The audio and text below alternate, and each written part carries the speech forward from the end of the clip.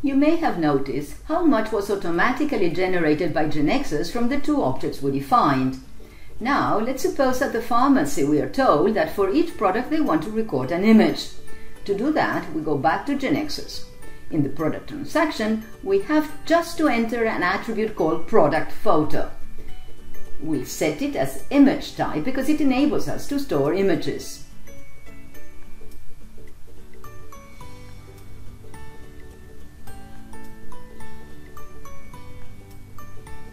To do so, we click on Save and see that the web interface is automatically updated, including the product photo attribute.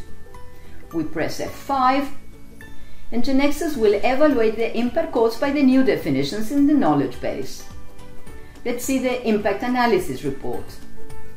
Remember that the impact analysis report indicates the structural changes required in the database. The report's main title indicates that in this case, the database needs to be reorganized. The term reorganize implies the task of making changes to the database. In this particular case, the report says that the product table must be updated. By clicking on the Reorganize button, GeneXus will create and execute the programs that will change the database. Then it will generate the required programs for the application. We'll immediately have the application running again in the web browser with a new definition included.